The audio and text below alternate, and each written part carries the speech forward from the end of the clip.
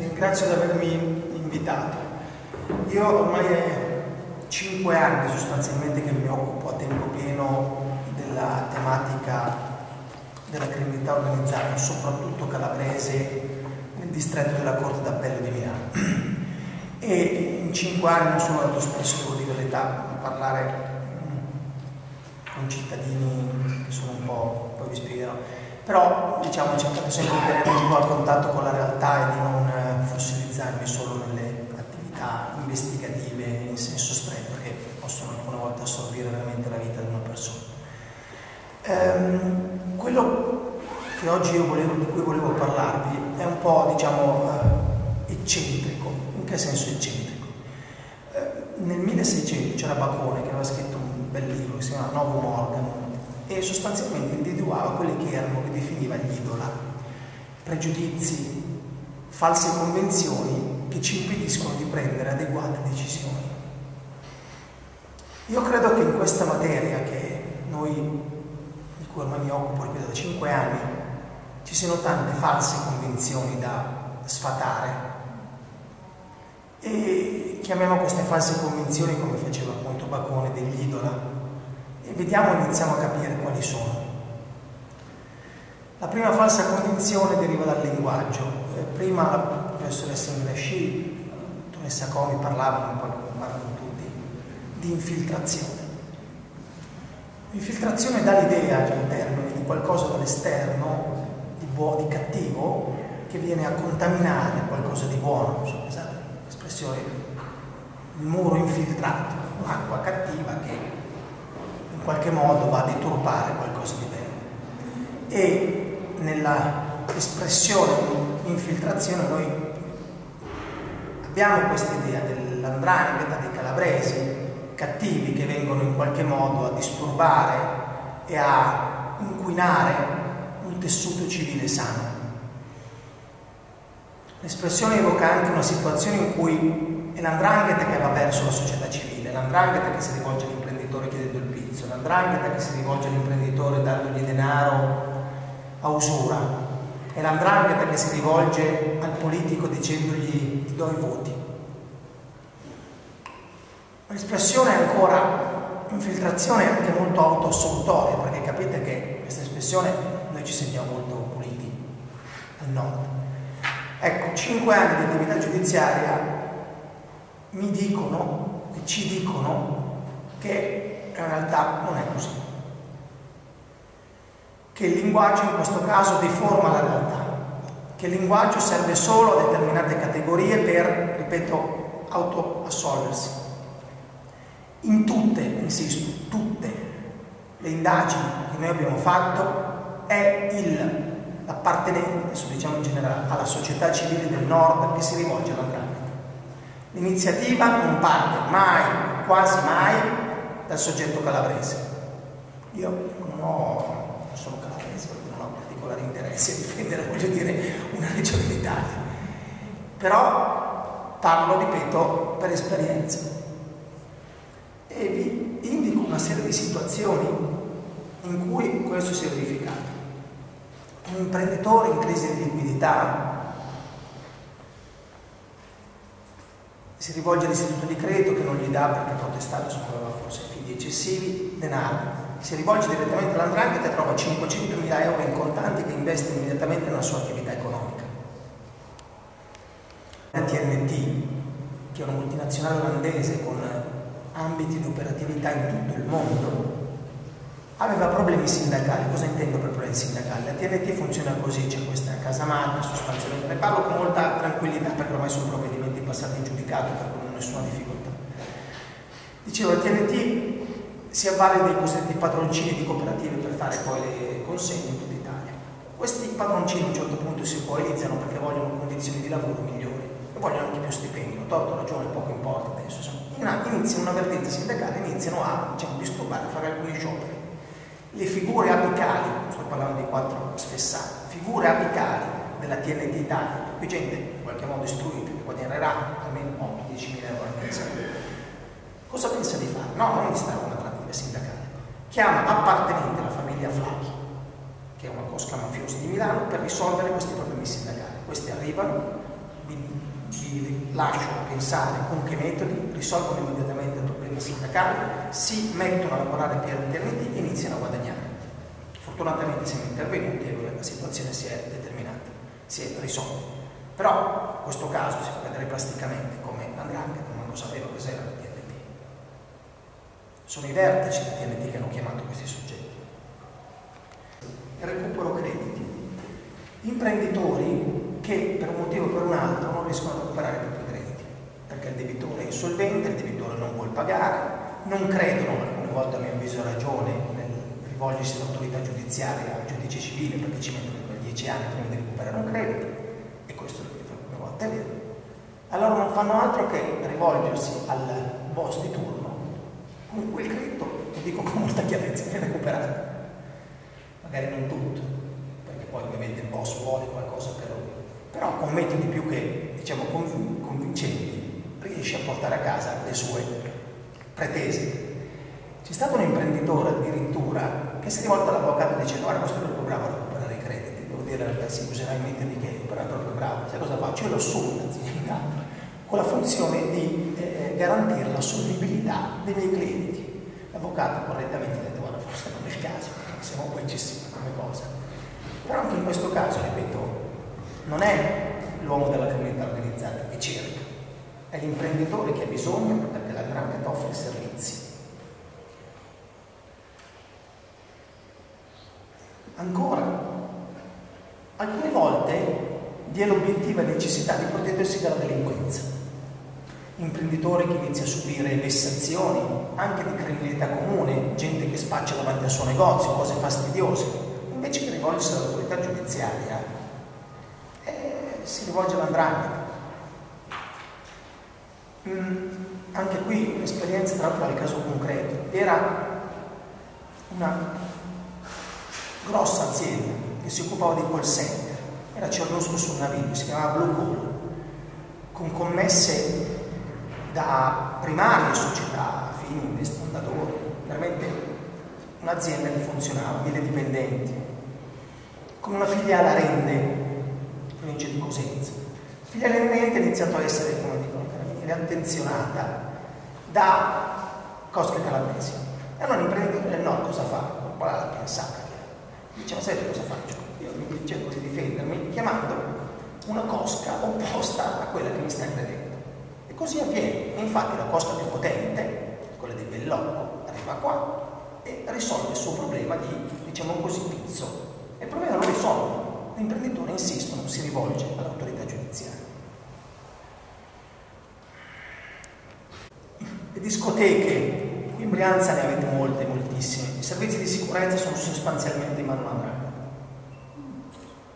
Perché è chiaro che se la criminalità comune, sapendo che lì esiste un soggetto con un certo peso, diciamo così, non va a disturbare qua vicino a Marino Comense due settimane fa c'è stato un tentato omicidio di questo tipo, cioè di un soggetto che faceva il butta fuori, o come butta dentro, come si chiama, le discoteche, e al termine del servizio sparano tre colpi di pistola legale.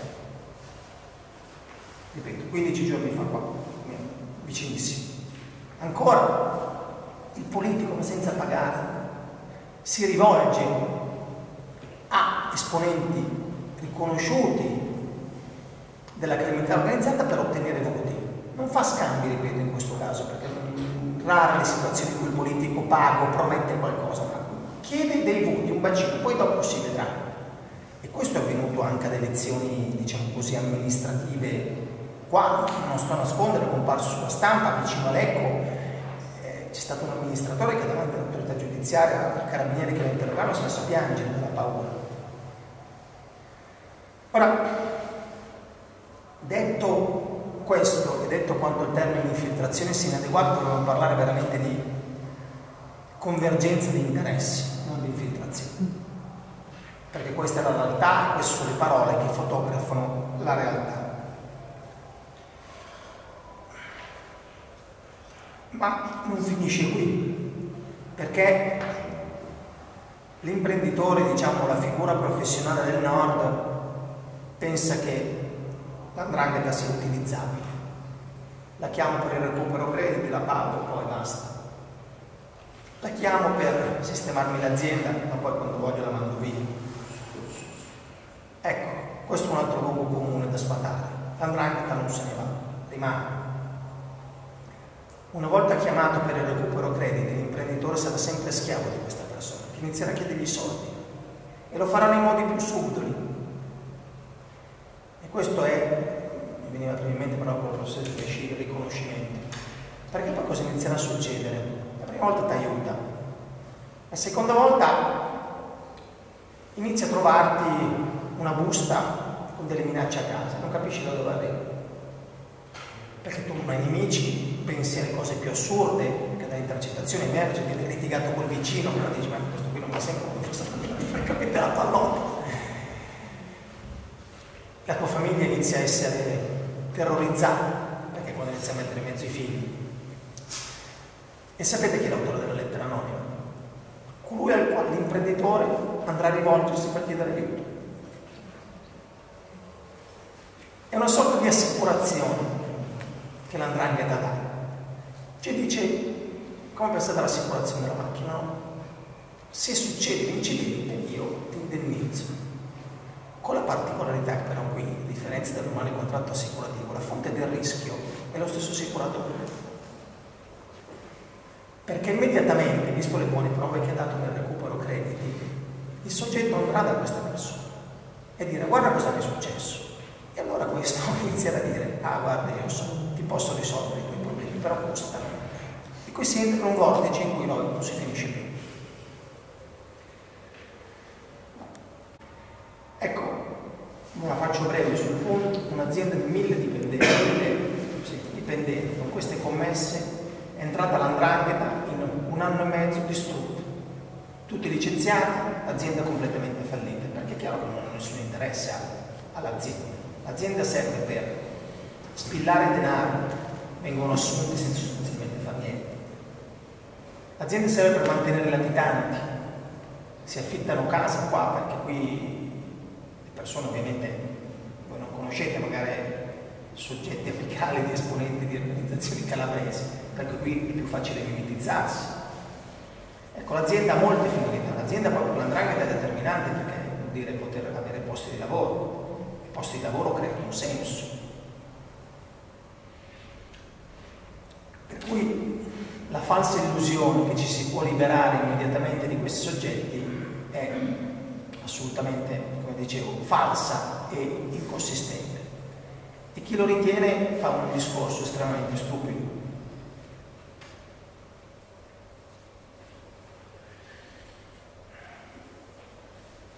Terzo luogo comune, terzo idola, che io intitolerei ma non ho mai ricevuto un'informazione di garanzia. Politici, imprenditori, avvocati, commercialisti, magistrati, Può succedere che consapevolmente vadano a cena, frequentino soggetti quantomeno chiacchierati. Questo non è un reato, perché non lo è. Nessuno è mai sognato di arrestare una persona perché è andato a cena con uno.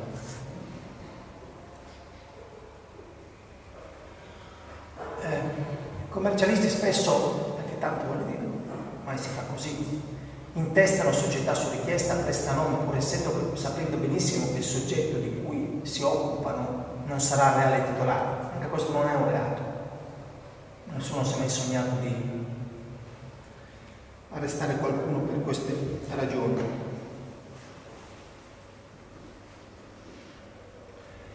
Eh, il magistrato che consapevolmente invita a casa sua ma senza nessun illecito rinfreschi soggetti appartenenti o chiacchierati, un commento bello. Però la domanda che mi faccio, mi faccio è, ma il diritto penale è veramente il limite dell'etica pubblica?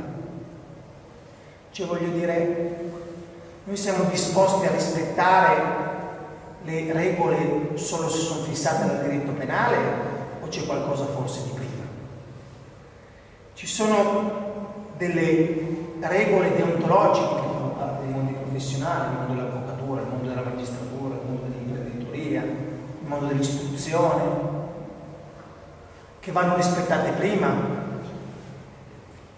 La risposta è sì. O meglio, la risposta è no. Perché no? Perché da parte degli ordini professionali, ve faccio alcuni esempi, c'è un totale disinteresse per questa cosa. Commercialisti colpiti perché sottoposti addirittura a misure di sorveglianza speciale, che sono misure di prevenzione segnalate all'ordine dei commercialisti che se ne frega totalmente di questa roba qui. Totalmente. Idem per l'ordine degli avvocati, idem per il mondo delle imprese. Ora, vi devo fare un esempio di quanto può essere veramente scarsa l'attenzione per queste regole non penali, il cui rispetto però è fondamentale, perché se un semplice cittadino vede colui che sa essere un appartenente all'andrangheta andare a braccetto col sindaco di un comune o con l'assessore senza commettere reati, ripeto, cosa pensa dell'amministrazione locale? Se lo vede andare a bere il caffè col magistrato, cosa pensa? Che sono tutti uguali, forse ha ragione. E dicevo, quando è un esempio che traggo dal collega Davico che mi ha raccontato in alcune occasioni, del mancato rispetto di queste regole sociali ritenendo che ci vuole un'informazione di garanzia. Eh, professore universitario del centro Italia soleva intrattenere relazioni intime con le studentesse. Non era dato affettivo perché subito dopo l'esame questa relazione cessava. Viene arrestato e poi una volta attestato queste relazioni intime c'erano, ma buon per lui che non avevano nulla a che fare con il superamento degli esami. Viene, dicevo, arrestato e poi, buon per lui, assolto.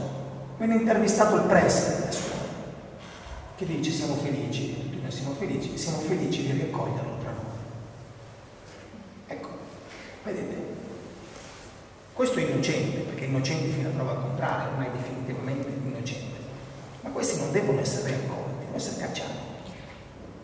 Però questo è quello che succede, di essere riaccolti perché il passaggio dal penale, prima o dopo, una specie di lavacro che tutto sistema e tutto lava. Però se si aspetta l'intervento del penale non si va molto avanti, perché ci sono alcuni comportamenti che certo non possono essere incriminati.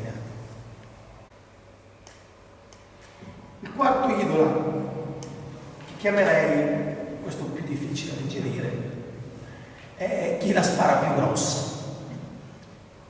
Cos'è questo idolo? Eh, sento giornali, televisioni, radio, in cui anche i miei colleghi pontificano, vi sono rapporti tra l'andrangheta e Al-Qaeda, tra l'andrangheta e l'Ira. L'andrangheta arriva in borsa a Milano. Abbiamo sequestrato 4 miliardi di euro. Ecco, guardate, non esito a definire queste tutte palle,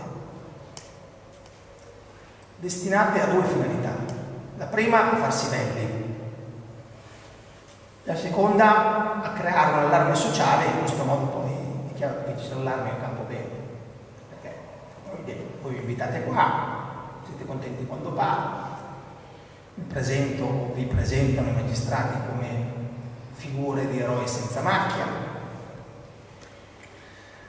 Ecco, dicevo, prendendo un discorso un po' più lontano, queste sono palle, perché l'andrangheta non ha nessun rapporto con il terrorismo internazionale, non è vero.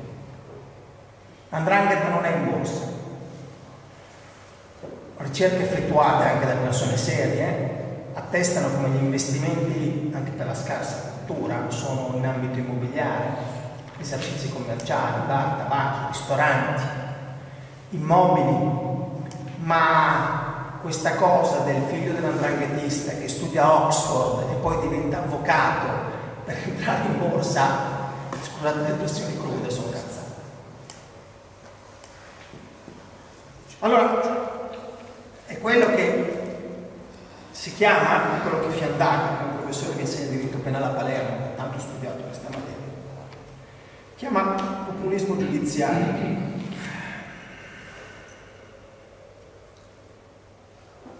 Mi dice, ci sono alcuni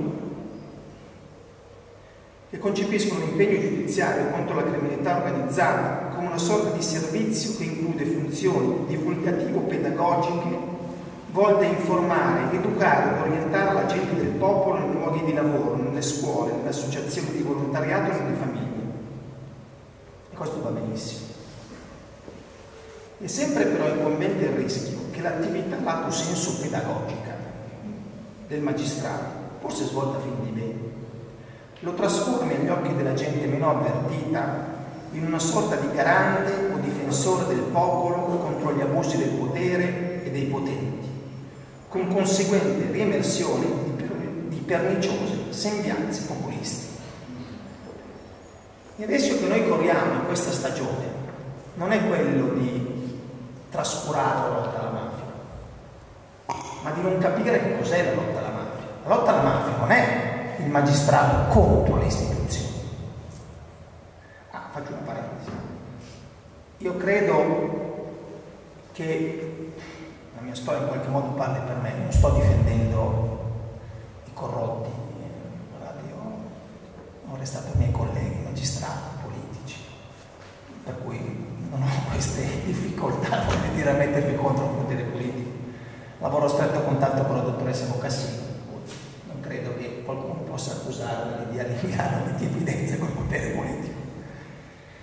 Però dicevo, il rischio che corriamo è quello di presentare il magistrato come uno contro le istituzioni, che non è. Perché il magistrato è un'istituzione, vive nelle istituzioni, che quando hanno dei problemi, quando sono diciamo da sanzionare, vengono fatti, ma quest'idea del magistrato eroe non va bene, noi non siamo eletti dal popolo. Noi siamo, ripeto anche, di questo sono più che convinto, funzionari ben pagati, che facciamo un bel lavoro dello Stato a servizio dell'interesse comune. E approfitto di questo discorso per dirvi affrontare un altro idolo. La mafia è un male assoluto questo è l'idolato che noi dobbiamo combattere. E ve lo dico con parole di un sociologo, credo anche amico del professor Sengreci, Rocco Sciarrone. Rocco Sciarrone scriveva messaggi piuttosto poderosi, però è apparso recentemente sull'indice dei libri, una rivista che si occupa di recensioni. Un articolo in cui commentava tanti anni di distanza, un articolo di Sciascia sui professionisti dell'antimafia che vi risparmio, non è questo momento di parlare. Però Guardate cosa dice, io sottoscrivo questa affermazione. Due visioni della mafia, la mafia come male pubblico e la mafia come male assoluto. La visione della mafia come male pubblico, ovvero contrapposto al bene pubblico, è assai diversa da quella che la rappresenta come un male assoluto. Le due visioni alimentano modelli differenti di antimafia. La prima, la mafia come male pubblico, come la corruzione, richiede innanzitutto di comprendere i meccanismi generativi e riproduttivi della mafia, in modo da incepparli e disarticolarli con interventi mirati, che presuppongono scelte strategiche tra diversi corsi di azione, mentre la seconda, ma l'assoluto, veicola l'idea di una guerra tra il bene e il male, quindi chiama in causa soprattutto ragioni di ordine etico e morale. Quest'ultima visione, ma l'assoluto, ben rappresentata dalla figura dell'eroe antimafia e da una concezione ecumenica della lotta al crimine organizzato, finisce paradossalmente per depoliticizzare la questione, mentre la prima ha necessariamente bisogno di essere dispiegata nella sfera politica, lasciando spazio alla discussione e al confronto critico. Cosa intende dire Sciarrone? Me la faccio in termini Se la mafia è un male assoluto, io sono disposto ad accettare qualsiasi danno collaterale, consapevolmente assunto. Cosa intende per danno collaterale? Arrestare gente che poi ancora non c'entra niente. Perché a fronte del male assoluto tutto deve essere fatto, tutto può essere fatto. Voi pensate alla Shoah, tutto deve essere fatto per fermare la Shoah. E la stessa cosa questa visione della mafia come male assoluto. Inizio a fare processi perché mi interessa il dato mediatico, non mi interessa capire il fenomeno. È questo che noi oggi dobbiamo evitare. Io capisco che siano un po' discorsi condivisibili, o meglio, ognuno la pensa come vuole, difficili da digerire. Ma guardate, queste visioni dell'eroe antimafia hanno portato tanti danni alla magistratura, molti. Io non sto qui a fare nomi e cognomi perché ognuno può pescare nelle proprie fantasie. Ma quante volte soggetti vengono sbattuti in prima pagina, arrestati, poi si scopre che non c'entravano niente. Perché la visione non è stata quella di ponderatezza, di cercare di capire quello che succede, di raccogliere le prove, al di là di ogni ragionevole dubbio, anche nel corso delle indagini, facendo fatica, sapendo aspettare, sapendo frenare la polizia giudiziaria quando questa vuole esagerare. Poi i risultati però si vedono, perché sono lì da vedere. I nostri processi, quelli di Milano, in quattro anni passano a giudicare. Vuol dire che dal momento dell'arresto noi in quattro anni facciamo quattro, tre, gradi, tre gradi di giudizio, con gente che rimane in galera. Perché eh, le operazioni che abbiamo fatto eh, non è che c'è uscita molta gente. Certo perché si cerca di capire, si cerca di studiare. La donna è vista come un oggetto che viene scambiato per attuare alleanze tra famiglie. Questo è no.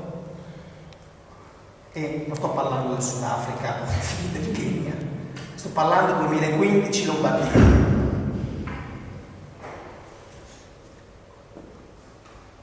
Due famiglie si allenano scambiandosi le donne perché in questo modo la famiglia diviene più potente. Più potente come numero e con maggiore impatto delinquenziale sulla realtà. Essere in 30 o essere in 60 non andrà mica, cambia una cosa. E se tu vuoi sposare un altro, no? Vi racconto una storiella, che non è storiella perché è successa ad aprile 2015. Ragazzini di 13 anni, 13 anni per dire secondo me, delle simpatie per i suoi amichetti, ovviamente, nelle scuole medie come avviene normalmente La famiglia però l'ha già promessa a il figlio di un capolocale di un'altra famiglia. Età 23 anni. Voi capite, la ragazzina, bambina di 13 anni, cosa può pensare? Perché non si rende conto neanche di quello che le succede. Iniziano a fare le pressioni psicologiche,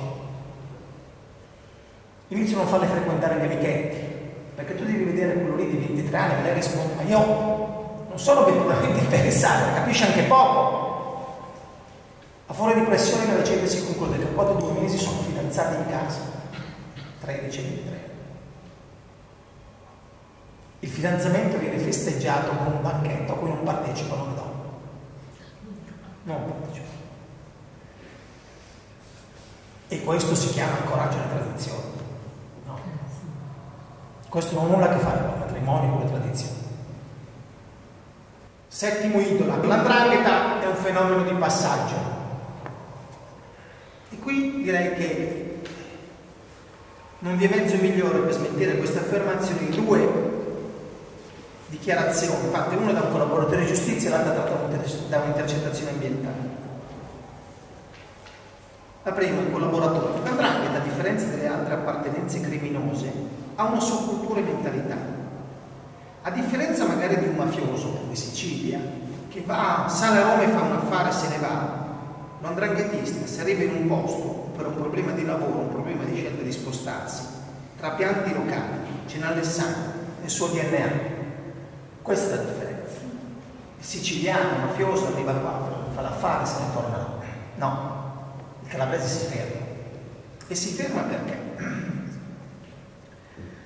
E vi dico perché. Intercettazione 2014 di un capomafia. Il mondo si divide in due. Ciò che è Calabria e ciò che lo diventerà. E questo dà l'idea delle intenzioni, diciamo, probabilmente un po' velleitarie, però questa è l'idea che hanno in mente.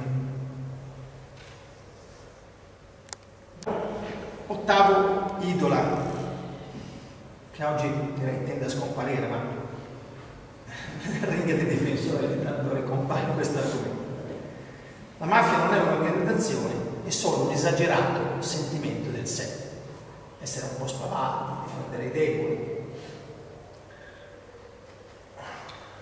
E guardate che queste cose le dicevano i procuratori generali presso le corti di appello del sud negli anni 70, eh?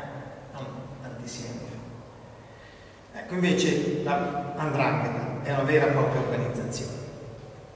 Ad oggi, al netto delle indagini in corso ovviamente, in Lombardia abbiamo individuato le seguenti locali. Ah, eh, locali significa sostanzialmente sodalizi criminosi che operano in determinati luoghi. E dovete sapere che per ogni insediamento lombardo vi è un omologo insediamento, insediamento in Calabria. Cioè vale dire se c'è un locale a Monticello, faccio un esempio stupido adesso veramente, ci sarà un locale di gente del medesimo paese a Siderno. Allora dicevo, dalle indagini effettuate oggi abbiamo i seguenti locali. Calozio Corte, che è diciamo così un'emanazione di Giffone, redente paese calabrese. Erba, Isola Capolezzuto. Fino Mornasco, Giffone. Cerminate, Giffone. Legnano, Ciro Marino. Bollate, Rosario, Guardavalle. Milano, Siderno e Caulonia. Corsico, Platino. Giussano, Guardavalle. Mariano Comense Bianco, Seregno Mileto, Desio Montebello Ionico, Cormano Brotteria, Pioltello Caulonia, Bresso Occhido Minertini. E ripeto, al netto di indagini in corso, per cui esistono queste organizzazioni. Queste organizzazioni hanno un loro linguaggio, parlano di operare, che vuol dire inserire un'organizzazione criminosa, Parlano di ambasciata, vuol dire mandare un messaggio. Parlano di bacinella, che è sostanzialmente la cassa comune. Parlano di trascuranza, per indicare le violazioni delle regole dell'andrangheta. Parlano di fermo, quando il soggetto viene posato momentaneamente, diciamo così, messo a riposo. Parlano di malandrini, per indicare gli appartenenti all'andrangheta. Parlano di copiata, che sostanzialmente la riunione di persone quando vengono date doti, poi vi spiegherò cosa sono le doti.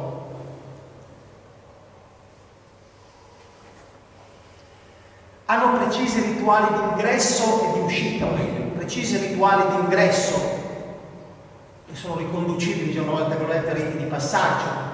Poi considerate le nostre tradizioni, quando uno si battezza entra nel mondo cattolico, il rito del passaggio da un mondo non cattolico, perché sei bambino è un mondo cattolico, quando uno si sposa, con un altro rito di passaggio, è un rito, il fidanzamento è un rito prima del passaggio, in il soggetto passa da uno stato, diciamo così, di singolo a uno stato di sposato.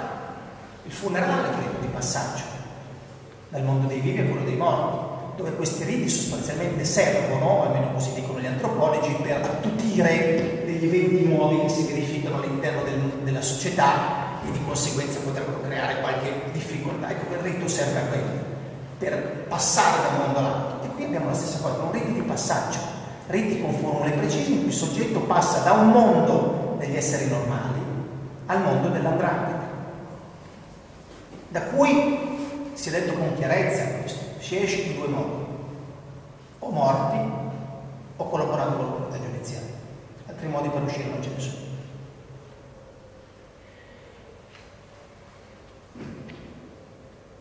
Ancora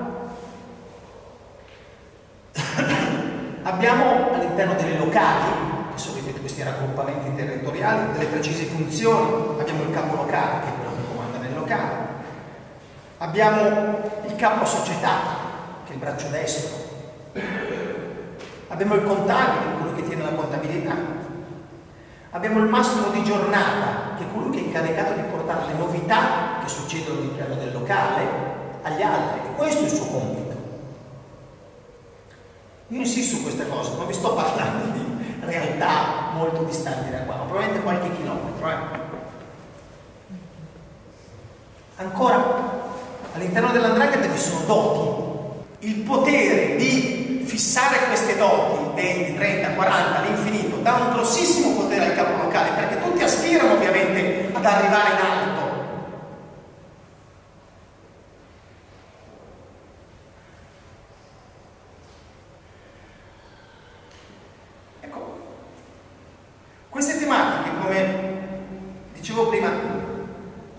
sono veramente da prendere sul serio e non sono folklore, perché poi qui ci scappano i morti, ci scappa il traffico di droga, ci scappa l'estorsione, chi più ne ha veramente più ne metta dei reati scopi. Ma un'altra regola ferrea dell'andrangheta, non si possono avere parenti che sono stati appartenenti alle forze dell'ordine. Come forze dell'ordine però è un concetto molto largo, perché neanche la guardia giurata può aver tuo parere, il tuo parere.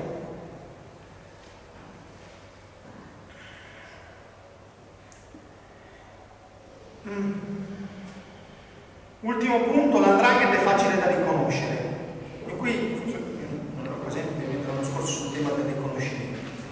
Però, diciamo, qui noi abbiamo un po' di problemi di riconoscimento. Perché non, non siamo forse abituati, questo vale anche veramente per la magistratura e per le forze dell'ordine che alcune volte non sono in grado di percepire nella loro gravità alcuni fenomeni di violenza anche a bassa intensità.